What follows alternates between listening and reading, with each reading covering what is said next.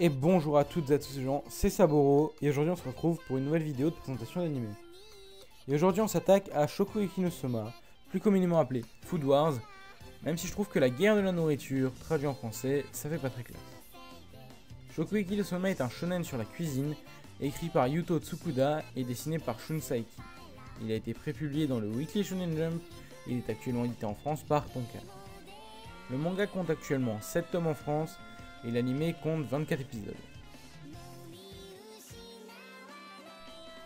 Shokugeki no Soma raconte l'histoire de Yuki Hirasoma, qui est en troisième et qui travaille depuis tout petit dans le restaurant familial qu'il tient avec son père.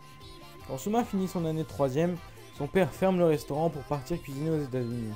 Il envoie donc Soma dans un lycée gastronomique très réputé où seulement 10% des élèves ressortent diplômés. Soma va être accepté au lycée et dès le début, il annonce qu'il sortira diplômé et deviendra le meilleur cuisinier de tout le Japon. Alors maintenant, on va passer à la liste des personnages qui sera divisée en deux parties parce qu'elle est très très très longue. Mais là, je vous en présenter que quelques-uns. Vraiment pas beaucoup, simplement parce que si je vous présente tous les personnages, la vidéo durera 10 minutes. Ce sera vraiment trop long et vraiment trop chiant. Donc dans la première partie, on va parler des résidents de l'étoile polaire, qui est le dortoir où Soma passe son temps en dehors du lycée. Donc il y a bah, Soma du coup, comme euh, on parle depuis tout à l'heure, Megumi Tadokoro, Yuki Yoshino et Ryoko Sakagi. Donc c'est les personnages principaux qu'on verra le plus souvent qui viennent du dortoir. Et donc dans la deuxième partie, on parle des principaux membres du conseil des 10 mètres, qui est en quelque sorte le classement des 10 meilleurs et plus sages cuisiniers du lycée.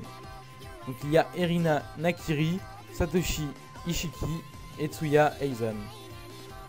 Donc je vais pas trop déblatérer dessus parce que tout simplement euh, je trouve que les personnages vous devez les découvrir pas vous-même et c'est pas à moi de vous les présenter. Surtout qu'en plus les présentations sur les personnages ne sont pas sont plutôt de mon point de vue personnel en général. Donc euh, je vous laisse découvrir ces personnages. Sinon j'espère que cet épisode vous aura plu. N'hésitez pas à vous abonner, à liker, à partager la vidéo et à commenter, ce sera cool. Et puis moi je vous dis tous à la prochaine. Allez bye